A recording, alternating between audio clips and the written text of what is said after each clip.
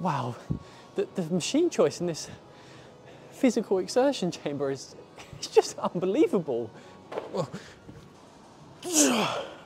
Who the hell let this little twiglet here? Have to be joking. The G7X 5000 preacher curl, inches by four inches.